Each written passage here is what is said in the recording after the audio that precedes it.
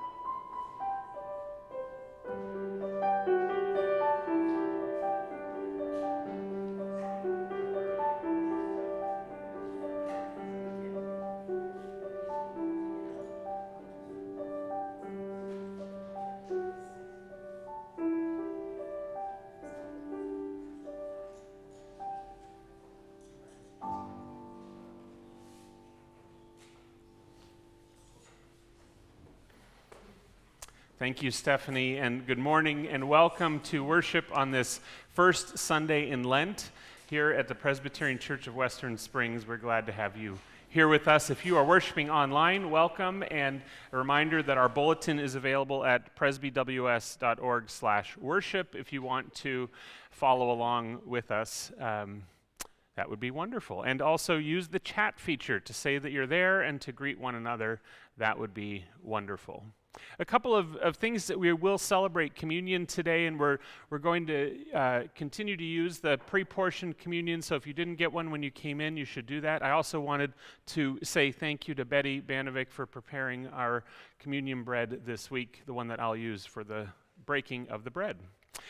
I wanted to tell you, a couple people have asked. They've said, So we've done these Lenten challenges the past couple of years. Do we have a Lenten challenge this year? What are we, what are we doing? And your mission committee has been hard at work, and they're almost ready to formally announce our project. And I can tell you a little teaser that the project is going to last beyond Lent. It's not going to be just a, a short term one. Um, and so hopefully by next week we'll have it all buttoned down. But we're trying to just connect with a few more folks because it's a, it's a little bit bigger of an endeavor than we've done recently uh, and not just linked to raising money, but actually getting some volunteers in place to do some work, uh, working with some refugee programs. So um, there will be opportunity for you to get involved, and we're, we're just like I said, almost there. So if uh, if Kathy or I reach out to you uh, in this coming week before next Sunday, even um, don't be too shocked. And then we'll kind of once we have a foundation of people uh, to help, we're going to launch into announcing it. Isn't that exciting? It's a little bit of a teaser. We're, we're easy, teasing it out a little bit. Um, the other thing I wanted to let you know is that in two weeks, on the 20th, we're going to have our annual meeting of the congregation after worship. It'll be uh, right here in this place. And um, typically, it's a pretty brief meeting because we, we break it into two and have our December meeting. So you'll want to stick around, and we'll have the annual report to share about the, the updates on the life of the church and our vision a little bit for going forward. So you want to be here then continued gratitude for our wearing of masks in church. We know the world is changing, it keeps changing, but uh, hopefully soon our session will meet in a couple of weeks or really a week and a half and, um, and be ready to kind of look at the updated numbers and all of the data coming out and make some decisions going forward. So um, just hold tight a little bit longer. We're almost there, I feel like, so that's a good thing. Um, I think that's all. We don't have too many announcements uh, today, other than welcome. Thank you, Jim, who will be leading us uh, with the native flute uh, this morning, and uh, Cheryl, who is singing uh, for us today. Thank you. And of course, Kathy here, our liturgist. So, uh, as we transition from getting here to being here, ready for worship, Jim will um, lead us in an introit and let us prepare our hearts and minds for worship.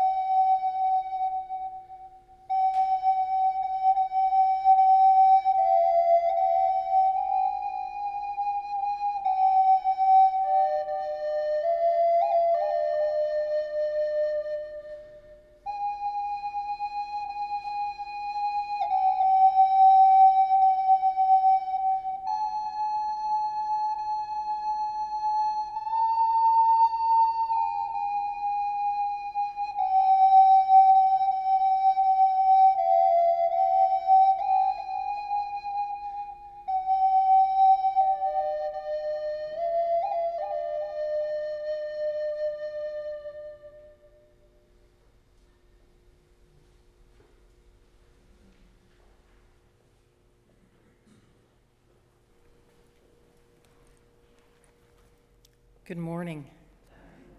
Please stand if you are able and join me in the call to worship printed in your bulletin. We gather in this Lenten season knowing we are broken. Come and be seen. We gather in this Lenten season knowing we need forgiveness. Come and be heard. We gather in this Lenten season knowing our hearts long for God. Come and be loved. We gather in this Lenten season knowing God calls us all. Come as you are.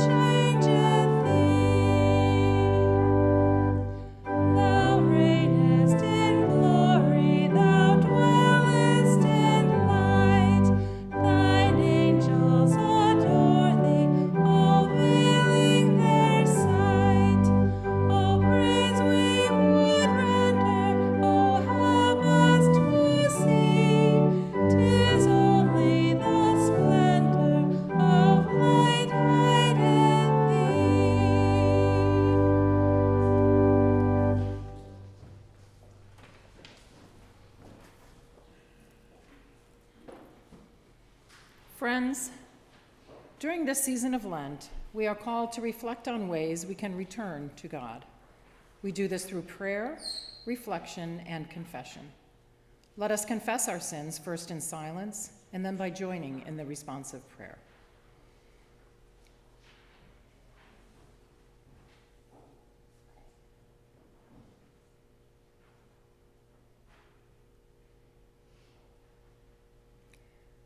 God, all too often we have turned from you, and our love has failed. Our longing for glory has blinded us to the joy of your ways. Help us to choose the path that leads to life. We have turned aside and put our faith in things, in people, in institutions. We have placed our hope in the mortal, the tangible, the finite, rather than placing our hope in you. Help us to choose the path that leads to life. We have embraced hatred, sorrow, and anger instead of your life giving love. We have sown seeds of discord rather than creating communities where love abounds. Help us to choose the path that leads to life. We long to turn our faces toward you, away from death and destruction. We long to be people of love, light, and grace that we might be your beacons in a desperate world. Help us to choose the path that leads to life. Give us strength to glory in your creation, to celebrate the beauty and wonder you have made. Give us strength to reclaim the promise of Christ's life, to claim the promise of Christ's love. Help us to choose the path that leads to life. Amen. The good news is that we are indeed accompanied on this journey by a God who loves us beyond our understanding. Let us seek to follow Christ. Amen.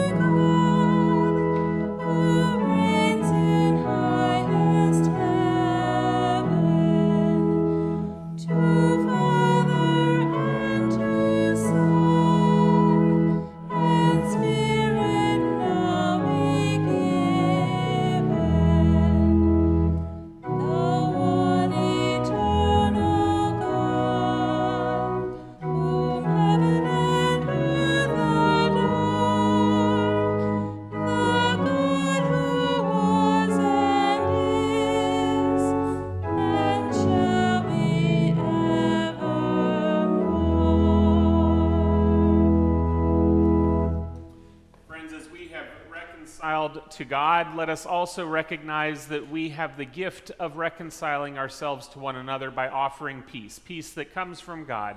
Friends, the peace of Christ be with you. I invite you to pass the peace of Christ to those around you.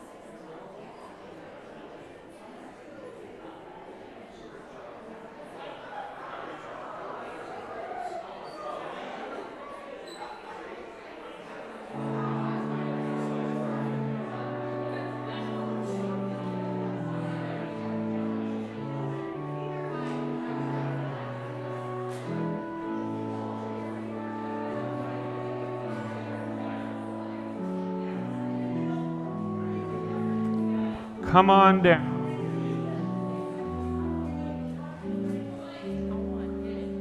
Come on down.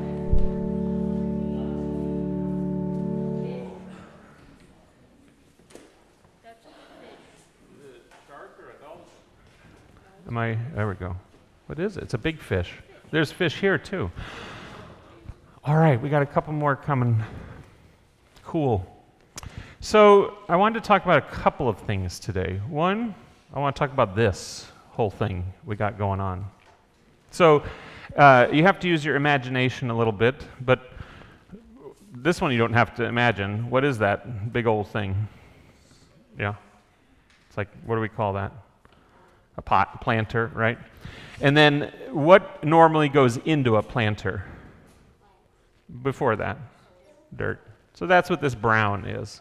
So each week, we're going to talk a little bit about this because sometimes in our worship space, in our church, we try to change things up a little bit. We talked about this at Christmas time, at Advent, where we brought things in to help us think about things a little differently. And this one I want to just talk about because when we're in this time of what we call Lent, Lent is kind of guiding us to Easter. And what I want you to do is each week we're going to talk about what changes about what you see here. And this first step is talking about dirt because dirt is where we put things to grow. And our hope is that during Lent, it can be a time where we grow, where we learn and we grow and we grow closer to God. And so we're kind of like the dirt. You're the dirt. I'm the dirt. And we're saying to God, okay, I don't know what it means always, or I don't fully understand what it means to grow and to grow closer to you, but use my dirt. Use me and help me to learn. All right? So that's the dirt. So you can go play in the dirt and you can think about it too about what does it mean to make things grow? And why is there some dirt where things grow and some dirt things don't grow? Okay. So next week we'll see what happens. Yeah. Okay, second thing. These are, well, what are these? Fish. And then what else are they? Can you tell? They're banks. Do you remember these at all? Anybody remember these? It's been a little while, huh? Yeah. And so these are another thing that I found out, I was looking at it today, for 70 years. And 70 years is a long time. There's some people out there who are 70 years old, but most of them are a lot younger. And um, seven, for 70 years, churches like ours have been collecting coins and other money to help something called One Great Hour of Sharing. And the reason they call it that is because we, we collect all during this time of Lent. It's a helpful reminder to us. And then we'll bring them, and I think we're going to bring them on Palm Sunday. That's going to be the day we collect these. And on Palm Sunday, we'll bring these all back, and the money goes to help people who don't have things like food or shelter or when a disaster happens, uh, something bad happens, it's a way that the church says, all right, we're all connected to one another. We all help one another. So, what I like about this is you, you're going to take one of these home and you can color it like I colored this one. And you can color it in, and you can do it while it's assembled like this. It works okay. And you can have this little fish as a reminder every day, maybe to help with something around the house and get a few coins that you can use and uh, maybe invite other people in the house or in your family to help give a little bit. And remember each day during this time of Lent that we can help people. Even if we don't understand, and we've talked about this with the big kids too in church, the you know older people, um, that even if we don't understand everything there is to know about God, what we can understand is how it feels to help someone and how it feels to be helped by other people. And so it's kind of our way we practice and we try to learn and understand who God is. That's one of the ways. Because Jesus did it. Jesus helped people, He gave people actual fish, uh, but He gave them other things that they needed in their lives. And so we can practice that too a little bit. So, what I'm going to do is we're going to pray, and then you guys are going to go off to Sunday school. And on the way, I'm going to have you take the basket with you. And there are people here who might also want a fish to take home and, uh, and fill during the month, so, and color in. So as you go down the aisle, I'll have one of you take the basket, and, uh, and you can see if folks want a fish on their way. I'll keep mine, though, because it's colored already. All right, let's, yeah, yeah. Oh, yes, you get to take one too. Sorry, that's a very important point. Yes, you can take one, you can each take one, and, um, and then you can see if other people would like them as well, okay? All right, let's pray. Dear God, thank you for this season of Lent and for giving us the ability to help other people. We ask your blessing on these fish and the love that they will help us show. Let's pray. Our Father, who art in heaven, hallowed be thy name. Thy kingdom come, thy will be done, on earth as it is in heaven. Give us this day our daily bread, and forgive us our debts as we forgive our debtors. And lead us not into temptation, but deliver us from evil. For thine is the kingdom, and the power, and the glory forever. Amen. Amen. All right. Frankie, do you want to take this? You guys can head off. Make sure you get a fish and see if others would like them on your way out.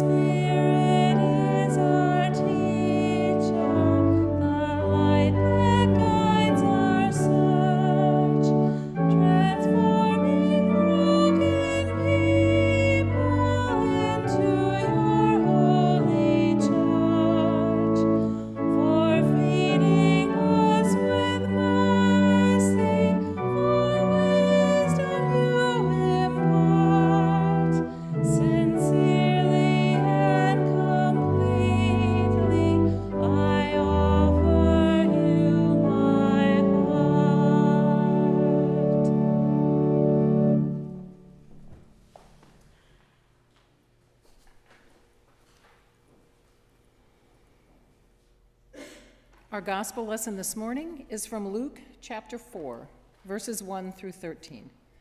This takes place right after the baptism of Jesus and before the start of his formal ministry. Listen for the word of God. Jesus, full of the Holy Spirit, returned from the Jordan and was led by the Spirit in the wilderness, where for 40 days he was tempted by the devil. He ate nothing at all during those days, and when they were over, he was famished. The devil said to him, If you are the Son of God, command this stone to become a loaf of bread. Jesus answered him, It is written, One does not live by bread alone. Then the devil led him up and showed him in an instant all the kingdoms of the world. And the devil said to him, To you I will give their glory and all this authority, for it has been given over to me, and I give it to anyone I please. If you then will worship me, it will all be yours. And Jesus answered him, It is written, Worship the Lord your God and serve only him. Then the devil took him to Jerusalem and placed him on the pinnacle of the temple, saying to him, If you are the Son of God, throw yourself down from here, for it is written, He will command His angels concerning you to protect you. And on their hands they will bear you up, so that you will not dash your foot against a stone. Jesus answered him, It is said, Do not put the Lord your God to the test. When the devil had finished every test, he departed from him until an opportune time. The word of the Lord. Thanks be to God.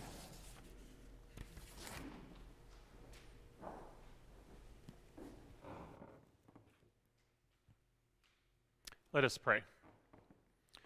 Gracious God, we give you thanks this day for your word for us and pray that we might understand something in it for us this day and for the days to come.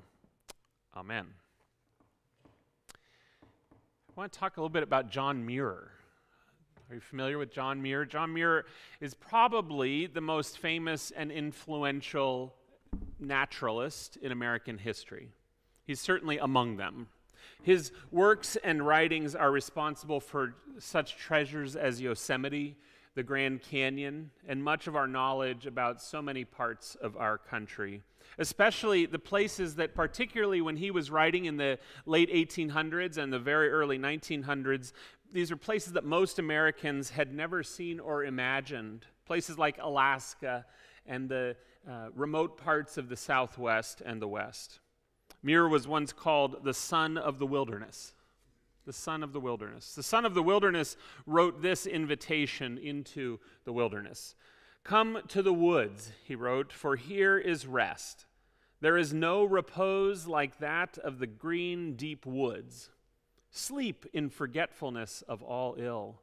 Of all the upness accessible to mortals, there is no upness comparable to the mountains his words, especially words like this, this invitation, they're reflective and they're beautiful. It makes me, every time I read them, makes me want to go to these places that he describes. I, I resonate with what he says, how he describes it. And when I have experienced places of nature, I've connected in many ways with these words because there's something quite appealing about it this invitation into the wilderness. There is no repose like it, there is no up, upness comparable to it. Reading Muir's writings about nature is a wonderful and romantic experience, and it becomes even more so when you consider the wilderness about which he is writing. He writes about mountaintops, mountaintops that were known to be harsh, difficult landscapes. But he writes about them in a way that makes them pretty enticing, right? They're pretty inviting.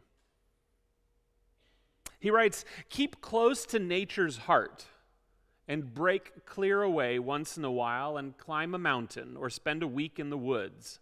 Wash your spirit clean, he writes.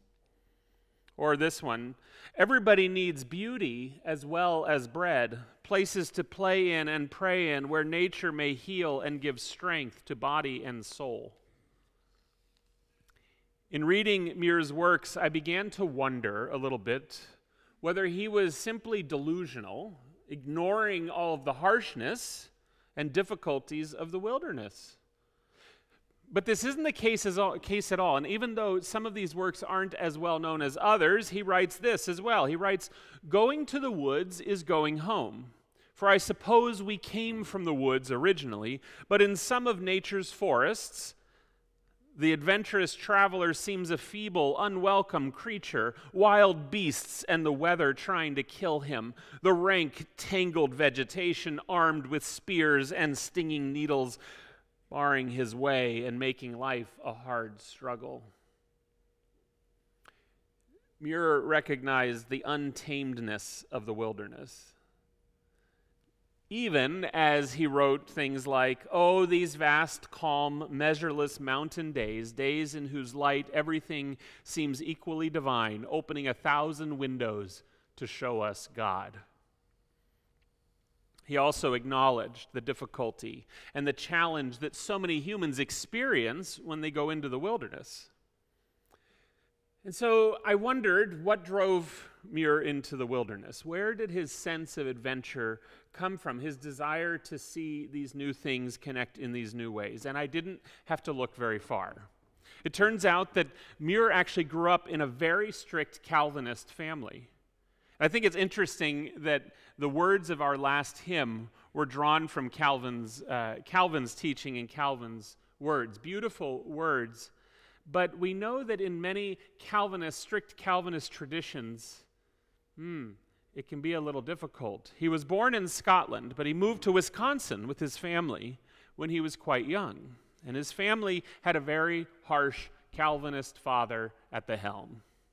Muir worked for his father, of course, from a young age on the family farm, and from a very early age, he spent hours and hours doing the wrong things according to his father. He spent hours and hours also learning about animals and the land. His early years, he says, were spent navigating the punishments of his father and his explorations into nature and into books about religion and the outdoors. One biographer writes this about his father. He says Daniel Muir was the harsh taskmaster, physical and moral, who believed that sweat and pain were the only means to achieve heaven, that acts of childhood and love of nature were synonymous with evil, and that both represented dangerous tendencies to be whipped out of a boy. A harsh landscape, indeed. In 1860, Muir went to the University of Wisconsin. Did you know that? I did not know that. He went to the University of Wisconsin and studied the writings of Ralph Waldo Emerson and Henry David Thoreau.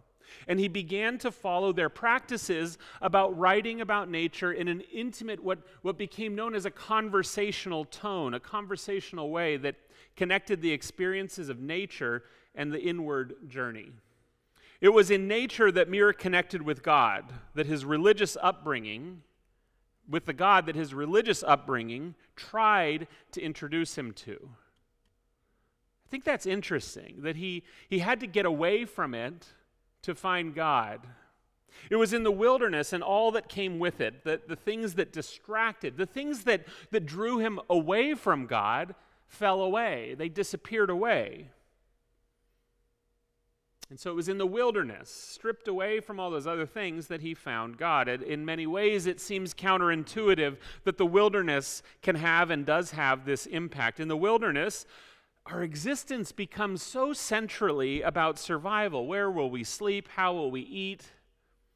And it seems that our individual needs would then predominate. That would become our focus. When the Spirit drew Jesus into the desert, there's nothing for him to eat. He doesn't eat. He doesn't eat for 40 days. And during those 40 days, our scripture says that indeed he was tempted that whole time, he was tempted by the devil. As Kathy said, Jesus had just been baptized. So if you've been following the past few weeks, we're going back, we're going back to the beginning. We had moved along with Jesus through those early periods, and now uh, Luke's gospel is taking us back to the beginning. Well, the lectionary is taking us back to the beginning of Luke's gospel. He's just been baptized right after the baptism. Right after the baptism, the Spirit draws him into the wilderness, and there he's tempted by the devil. In biblical times, wilderness was not described the ways in the ways that Muir describes the wild. Wilderness was seen as synonymous with a place of harshness, with a place of death, with a place of, of scarcity and loss. It's interesting because as I was thinking about this and reading about Muir's childhood, it seemed a lot more like wilderness from the Bible sounded like what he experienced in his home life, far more than what he experienced when he went out into the wild. Wilderness was seen as a harsh and desolate, desolate place, not a place one would go to find goodness. Wilderness was a place of loss, of death, of wandering. For people, right? For people. Interestingly, for the animals living in the wilderness, even the wilderness of the Bible, there doesn't seem to be the same sense of inhabitability. This is a theme throughout creation, though, not just among animals and humans, but among us as well. The places, often the places most difficult for us, are, are the habitats of others, of other people, people different from us. You see, wilderness has nuances and perspectives, and so does scarcity scarcity. For Jesus in the desert, being tempted in the wilderness, he's also experiencing scarcity. He's without food. He's famished, we heard in our text. He's famished. Jesus is tempted three times, three specific ways by Satan, in ways that look toward the coming passion of Jesus. This is part of why this text is used at the outset of Lent First of all, Jesus goes into the desert for 40 days, right? An allusion or where we get our uh, 40 days of Lent from.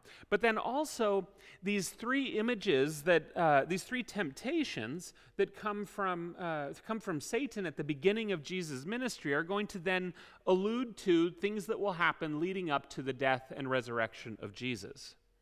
And so we're starting, we're starting with Jesus at the beginning of his ministry in this moment of scarcity where he is without. And again, we'll journey with Jesus to the cross and the despair of his death. And so, yes, Jesus is experiencing scarcity in this moment. And this is why during Lent, we often talk of giving things up.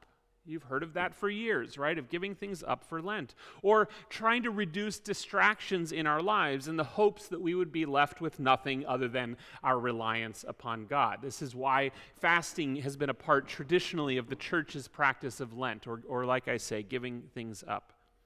I mentioned on Ash Wednesday that the focus on giving things up can actually sometimes be a distraction itself from God because people focus so much on that thing or activity or whatever it is that they're giving up that, that God's the last thing on their mind. That, that was never the intention. The intention was for it to be a spiritual act of, of uh, release of something so that you would have more room for God in your life. But uh, that's something you need to figure out individually of whether a practice like that is beneficial or not. But what happens here in our text is that Jesus enters the wilderness. He's drawn into the wilderness by the Holy Spirit, and he chooses to fast. And when he's tempted and tested, his reliance upon God, his devotion to God, is what comes forth. That's what is revealed. And it's also what sustains him. There's a lot that just happened in what I said. First, he chooses the desert. He's, he's led by the Holy Spirit, but one foot in front of the other, he takes himself into the desert. He chooses to go.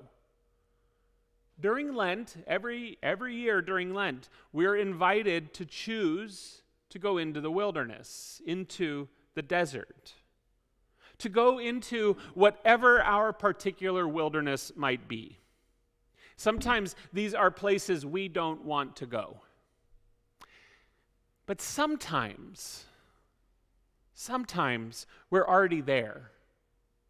Sometimes we're already feeling as though we are in the wilderness. We're so keenly aware of our wilderness journey that we don't need to be invited. We don't need to be taken there. We're already there. We're already living in the wilderness. We're already living in a place of harsh reality or challenging circumstances or unknownness or difficulty or pain.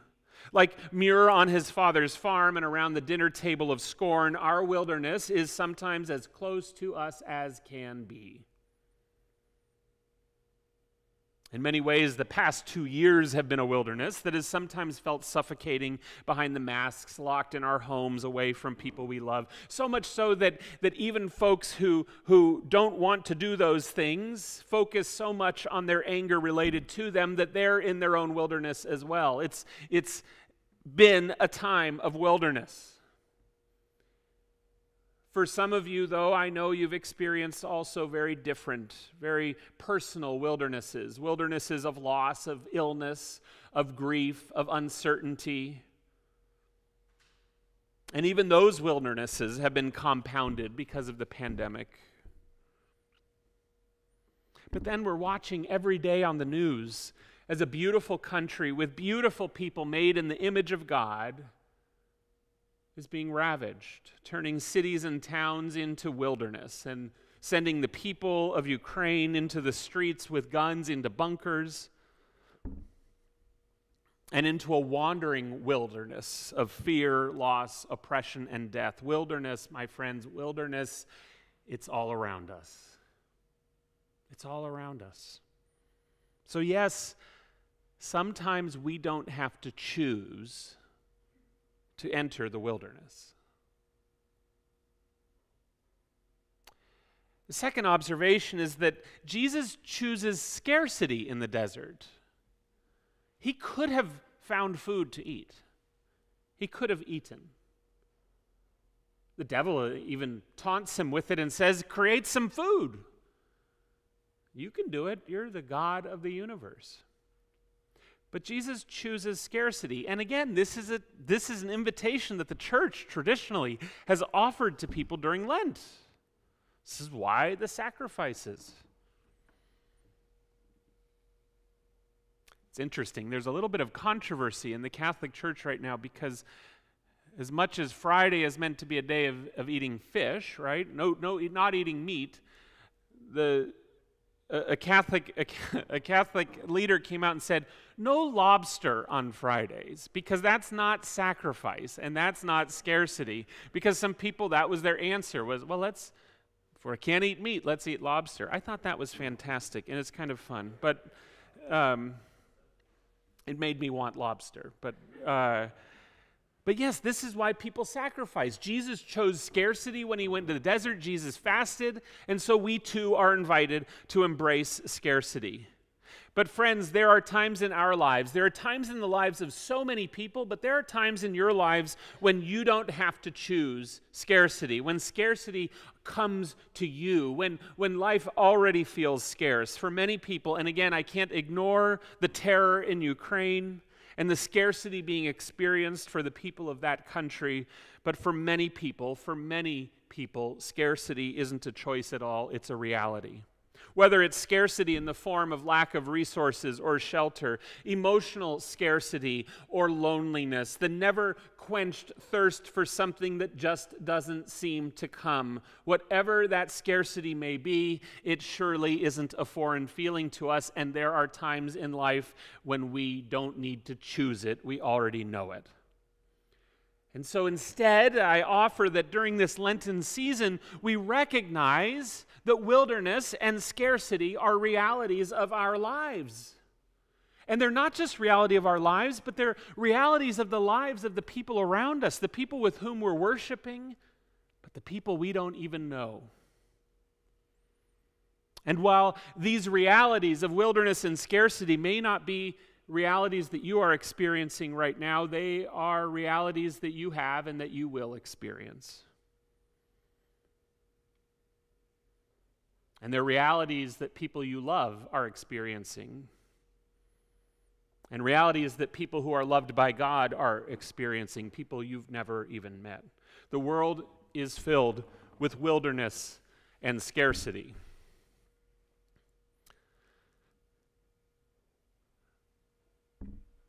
But the places of wilderness and scarcity. Before his ministry even begins, the places of wilderness and scarcity are the places where Jesus went, where Jesus is, where Jesus chose to go. The place where the Holy Spirit draws Jesus and where Jesus is able to resist all of these temptations, the temptations from a devil who knew who knew exactly what Jesus wanted and needed, who offered to fix the scarcity and deliver Jesus from all the threats. And Jesus resisted these temptations and proclaimed his obedience, his obedience to God and his reliance upon God. Friends, whatever the wilderness of our life may be, God steps into that wilderness place. God steps into wilderness places. God steps into the scarcity. God steps into your wilderness. God is with you in the midst of your wilderness, and God reorders the realities of our wilderness and takes a place of temptation and threat, a place of fear and anxiety, a place of loss. God reorders our wilderness into a place of beauty, a place of infinite goodness beyond our comprehension. Being willing to recognize our wilderness, being willing to go into the wilderness, it stops being about sacrifice or, or doing something that seems harsh or sad or depriving. Really, it becomes stepping away from the harshness and into a place of rest, of renewal. Stripping away the distractions so that we can allow God to do what God does best love, create, care for, nurture. So that we can allow God to be God in our lives and allow ourselves to experience what God is waiting to bring us. And to allow God to use us, to use us to walk alongside others in their wilderness, to choose like Jesus did, to step into that uncertain space, that uncertain wilderness, walk alongside others. Because that's even what Jesus did after he came out of the wilderness. When Jesus returns, his ministry begins, and it is a ministry over and over again of stepping into the wilderness of other people. He brings to people all of those things that the devil tries to give him in the desert. He feeds them, he gives them water. He ultimately goes to the cross for them, for us in the ultimate act of protection and love and salvation.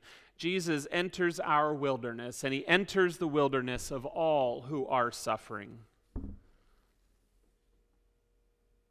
During Lent, we welcome Jesus into our wilderness. And having encountered Jesus in our wilderness, we then follow Jesus where Jesus goes. We look for and see the suffering of the world. We don't turn a blind eye. We look for and see the ways that we can be bearers of love to a hurting world. We look for and see the eyes of the people that Christ sees, the ones where they are in their wilderness.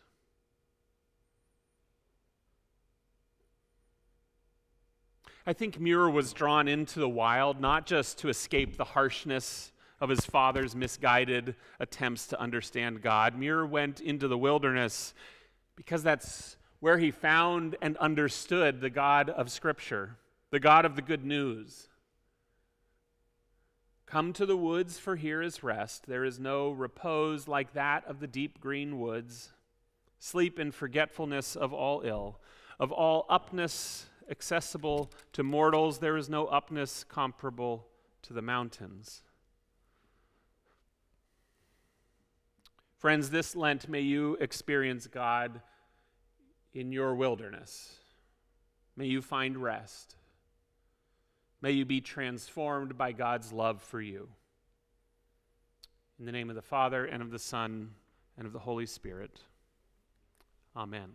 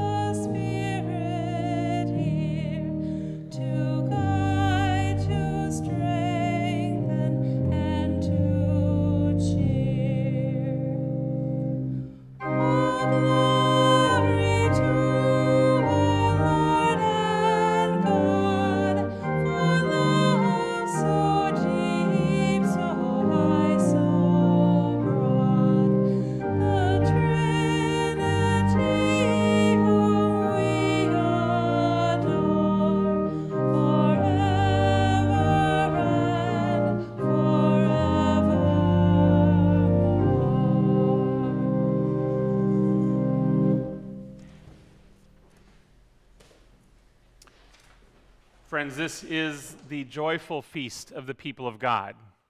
Christ invites us to this table. Christ brings us to this table. This is Christ's table, not the table of this church or of any church, but the table of our Lord Jesus Christ. It is a wonder indeed that we are welcomed at this table. For a long time, the, the church built fences around the table of Christ, meaning ways that you could come into that table that you had to pass through. But, but Jesus says, Let all who come, all who seek refuge in me, come to this table. And so, friends, let us proclaim the good news of Jesus in the great thanksgiving printed in our bulletin. The Lord be with you, and also with you. Lift up your hearts. We lift them to the Lord. Let us give thanks to the Lord our God is right to give our thanks and praise. We give you thanks and praise, O God, in this dry and weary land. You set a table for us in the wilderness and provide for all our needs. Even when we complain against you, you feed us with bread from heaven. When we quarrel and question your grace, you give us water from a stone. How can we keep silent? Even dry bones in the valley of death stand to sing your praise. We give you thanks and praise for Jesus, our way in the wilderness, our companion in the desert. He knows our hunger and thirst.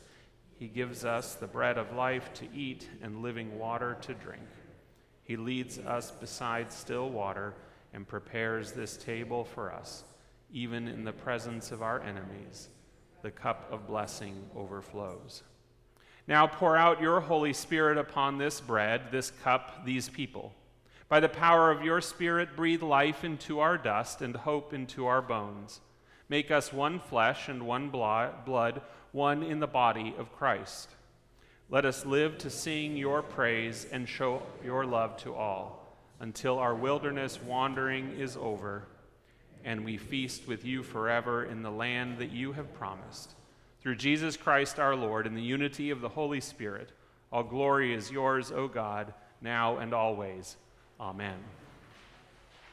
Friends, on the night he was arrested, Jesus was, was gathered with his friends.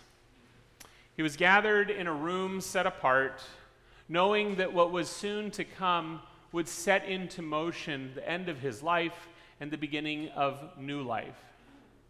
But in that moment, he said to his friends, Friends, this is my body, which is broken for you. Take.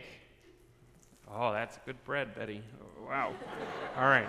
Take and eat of it. And then he took the cup, and in the same way, after giving blessing, he said, This is my blood shed for you, the sign of a new covenant, a covenant between your God and you, sealed in my blood. Take and drink of it. And whenever you eat this bread and you drink this cup, you proclaim the saving grace of our Lord Jesus Christ until he comes. Friends, this is the good news of this feast. The good news of the one who brings us bread in the desert, who brings us water for our journey, who steps into our wilderness with us and nourishes us. As we partake in communion today using the individual portions, I invite you to reflect on God's love for you and God stepping into the wilderness with you, even in the mystery of that, even in the unknownness of that. Welcome that unknownness, that, that wilderness that is our life of faith. Friends, the body and blood of Christ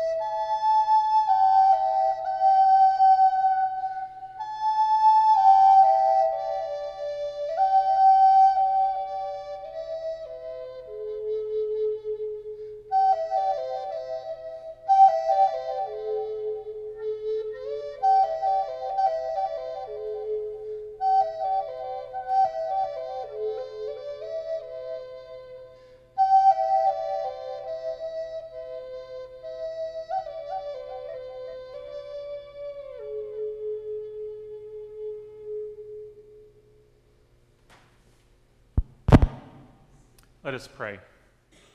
God, we give you thanks for this feast that you have prepared for us and for the way that we can be transformed by it. May we go into the world as ones who seek to find others in their wilderness like you did. But God, may we also be changed by your presence in our own. God, we pray for those in the world who are living in fear, those who are living in the fear of war in the harm of war. We pray especially for those in Ukraine who are fleeing, for those who are working to bring about an end to the violence there, navigating the waters as tricky as they are. God, we pray for those who have the absolute ability to end this war and pray that they would have their hearts softened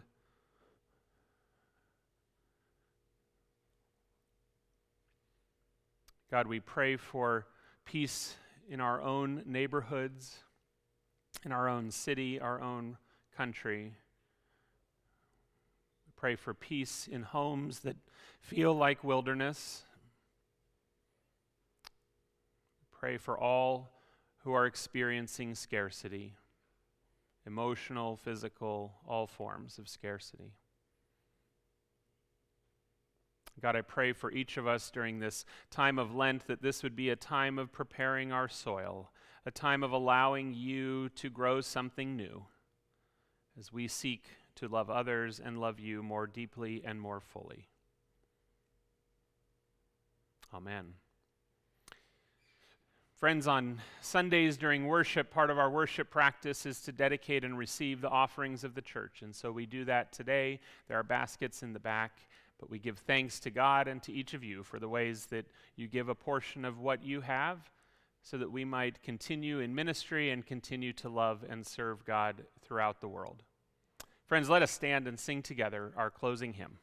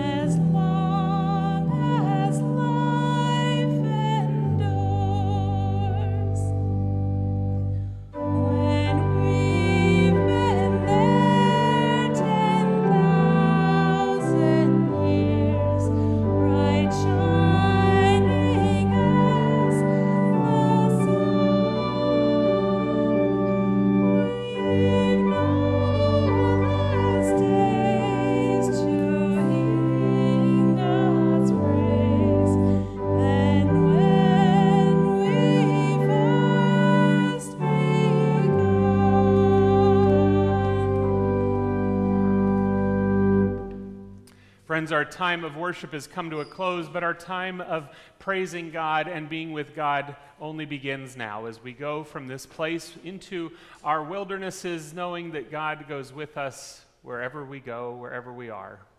Friends, let us go with the blessing of God the Father, the Son, and the Holy Spirit. Amen.